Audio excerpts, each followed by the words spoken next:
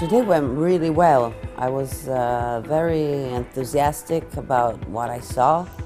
The movies were all very different, which I didn't expect. Nicely shot, well executed as a story. Technically, it's been good. Technically, it was good. I loved when people really managed to tell a story in 140 seconds with an art and also a message. It's the only time a voiceover worked for me because it was Yeah, whispered.